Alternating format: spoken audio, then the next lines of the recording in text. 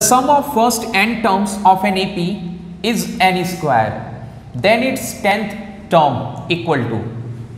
देखो, इस क्वेश्चन में हमारे पास जो गिवन है, वो मैं लिख दे रहा हूँ। Sum of first N terms यानी S N equal to N square given है। ओके पूछा जा रहा है टेंथ टर्म क्या होगा? इट मींस ए टेन पूछा जा रहा है। ओके तो इसके लिए सिंपल सा मेथड है। जो टर्म हमें निकालना है सपोज़ कर, हमें यहाँ पर देखो आप टेंथ टर्म निकालना है तो हम क्या करेंगे? S ten minus S nine करेंगे। ओके जो टर्म हमें निकालना रहता है टेन टर्म निकालना है तो एस टेन सेम टर्म और यहाँ पर माइनस एक टर्म इसमें से माइनस कर दो टेन में से तो वन जब माइनस करोगे तो नाइन आएगा तो एस नाइन अब ये अपने को टेन टर्म्स ही देगा, है ना? Tenth term. So S N की वैल्यू कितनी है?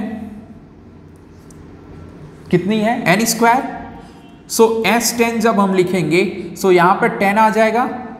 सो so, ये हो जाएगा टेन स्क्वायर और ये एस नाइन यानी कि नाइन स्क्वायर ये कितना होगा? आइडेंटिटी आप लगा दो, चाहो तो। A square minus B square की तो ten minus nine and ten plus nine कितना मिला? वन। और यहाँ पे नाइनटीन। सो नाइनटीन आ गया। So a tenth term is nineteen nineteen